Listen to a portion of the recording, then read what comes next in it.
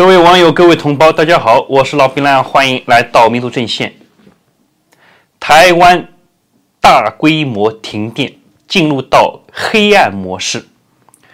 台湾今天的台湾像一个地狱一样的啊。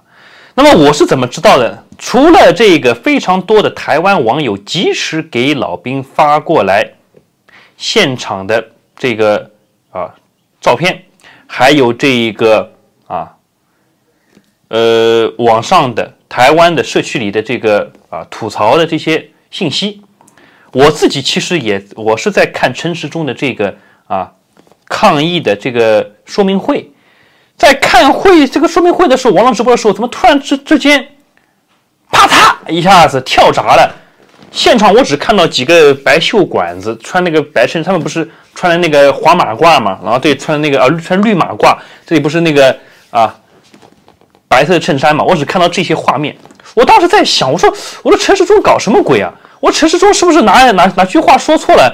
呃，突然之间就那个给他断电了。我说上演这个这个鬼片了，就拍鬼片在现场拍鬼拍这个鬼片哈，因为台湾都是鬼哈，尤其是民进党都是鬼。那我想也不对呀。哦，后来哦，过了几分钟哦，有网友给我发过说说什么台湾大规模停电了。我说啊，我说大规模停电，我说啊，我说那不是很正常，台湾大规模停电。那有有的网友说，那现在民进党这个新闻发言人罗罗秉成啊，他说这个啊，罗秉成他说，呃，是这个高雄的新达这火电厂啊机组这个发生这个故障，机组发生这个故障以后呢，啊，导致这个台湾大规模停电，因为这个台湾的这个高雄的这个。所谓的新达发电厂啊，它是台湾属于是第三大发电厂。那各位，它的这个一共有四个机组，它是一九七八年生产的。两个机组呢是来自日本三菱重工的，两个机组呢是来自美国的啊。那么这个发电厂呢，它主要是火力发电，也就是用煤炭，还有一些液化天然气来发电。冷却呢是用海水来进行冷却的。那我们不要进入到楚门的世界，别人给你设定好了啊。新闻告诉你，哎，民进党他妈的喉舌告诉你，哎，信达发电厂的问题啊，啊，你就认为是信达发电厂，其实不是，其实是，对，也可以也对，不能这样讲，是也是这个厂子的原因，但更大的原因是什么？更大的原因是台湾三十五座水力发电机组就完全瘫痪了，因为台湾大规模的旱灾啊，旱灾。大家知道，台湾的水力发电占全台发电量的百分之十七，那么主要是集中在干旱，主要是集中在中南部地区。啊，那台湾断水，我说过，断水就必然是断电的，断电疫情会更加扩散。躺在医院里的在治疗的新冠的这个病人怎么办？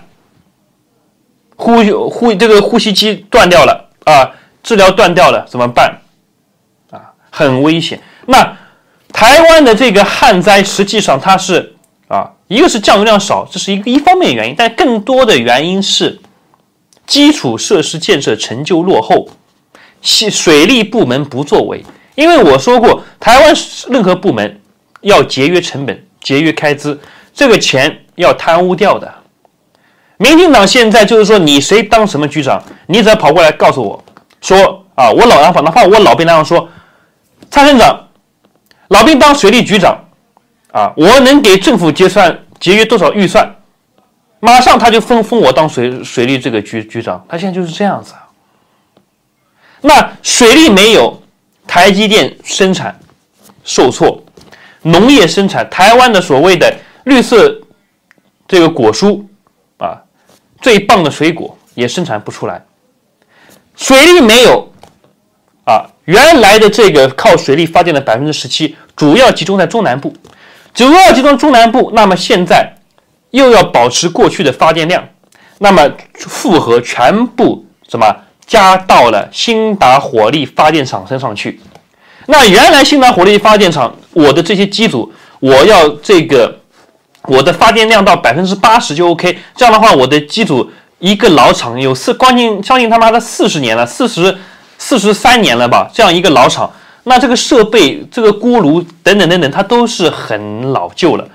那原来的量你勉勉强强可以保持百分之八十，现在啊南部的再加上百分之十的这个水电的，原来水电发电的这个量都加给它了，那它升变成百分之九十的发电量，那设备就会老化，就会发生什么故障？那归根究底就是属于是啊，蔡婆政府根本就不作为。现在岛内网友纷纷希望解放军的天使军来解救台湾老百姓，水深火热当中，现在真的是水深火热当中啊！台湾这个大规模停电，我们来看一下哪些地方大规模停电啊？这个效果是啊，这个是很严重啊啊！台媒联合新闻网报道，由于新达电厂出现全厂停电，台湾出现大规模停电，台湾电力公司已要求闲置机组立即上线供电，核电厂所有柴油发电机组均已加入供电。台湾行政院发言人罗秉成表示。目前新达电厂因事故导致全厂停机，系统供电能力不足，预计五月十三日下午三时开始执行紧急分区轮流停电。台电会尽全力抢修，并于查明原因后向各界报道。啊，罗秉生指出，政府已经掌握状况，请民众镇定，不必惊慌，也请民众勿相信并传递坊间未经证实的假消息。啊。另外，台湾近来旱情严重，未来恐影响水利抽蓄发电，令电源供应进一步吃紧。啊，我说过，这这个就是它的水不够，把原来这些你要保证不断电，又把什么发电量交给这个工厂，那也就是说，你民进党搞那么多维稳经费，那么多啊，这个白花花的银子去买美国的武器，搞以武拒统，又贪污腐败。本来这些钱可以大规模升级台湾基础设施建设，但蔡英文也知道解放军马上要打过来了，到时候升级这些基础设施建设也没什么用，一一打他妈的全没了啊！一打全没了。而且我说过，现在这个状况是最有利于解放军武统的。为什么？台湾缺水，台湾缺水，河流干枯，就适合大型机械化的这个设备啊，这个武器装备进行这个啊铺开来进行这个作业。因为台湾在汉光军事演习当中多次演习自己把水坝炸掉，啊，水力发电站给炸掉，发生大洪水，来阻碍解放军拖延解放军武统的步伐。所以说，现在这个时候武统是最好的一个时候，台湾缺水季节武统。但是我又，但是呢，我相信北京已经对这里情况已经是有所掌握的啊。呃，而且现在从台湾这一个断电的这个事情来看，引发了全岛的一片恐慌，因为没有电、没有水，台湾啊人的生活影响很大，没有办法做饭，没有办法啊这样那样的，经济损失相当惨重啊！而且我说过，台湾就停一个电，社会就可以进入到停滞状态。那解放军啊，六一四九八部队、网络部队直接进攻台湾的基础设施，这些这些发电厂的网络，也可以让它瘫痪嘛，对不对？所以说，台湾的这个整体的这个防卫啊，是他妈的不堪一击的啊，不堪一击的。停电意味着也网络也停掉，网络宽带也停掉，没有网。绿蛙就会叫啊，一四五零很着急啊，不能利用网网络来什么这个发帖子，手机也不敢乱用，他妈的一会儿没电充不上了啊！怪不得我怎么感觉今天下午我逛了逛一些社区哈，发现台巴子好像一四五零好像少了哈，一四五零少了哦，原来是停电了啊！他们现在也很着急，每天这个量没完成，领不到津贴了啊，是这样一个一一回事。呃，所以说啊，各位。台湾现在的状况就是你看到的这个状况，在蔡英文的统治之下啊，他会他就会说啊，你们的抱怨、你们的灾苦难，政府有看到，政府会做检讨，回家的路一定要保证安全，政府会明白这个事情，政府会去做啊，嗯，没有关系吧？啊，这个台湾啊，现在到了晚上分区分区停电啊，显示了自由民主这个这个体制的优秀。大家来看，哎，跟我们跟我们一起站到台湾的中央山脉上面去看，我们往西看，对不对？我们看到的是不是啊？隔了海峡，我们看到的是什么？一片光明。那现在对岸呢？对岸那些渔民，他们现在站在福建，隔着海峡往我们这边看，他们看到的是一片黑暗的。我们看到是光明，他们看到是黑暗，哪个制度好？大家也有所看到啊，对不对啊？我们民主自由啊，毕竟是民主制度是全世界最好的制度，在民主制度下，我们疫情防控相当得力啊，在民主制度下。台湾老百姓安居乐业，啊，我们不怕中共对我们的武力威吓，因为我们心中有信念，自由民主是我们的守护神，自由民主会让大家轮流的停电，啊，我们这是在进行这个应急情况的预演。如果说共军网络部队发动这个啊瘫痪我们基础设施的这个进攻，那么我们该如何来操练？如何来应对？这是我们的一个一个攻防演练啊！请台湾的百姓啊，大家不要害怕，不要着急啊！一切以民进党发布的消息为主啊！除民进党发布的消息以外，任何的消息都是假消息啊，都是假消息。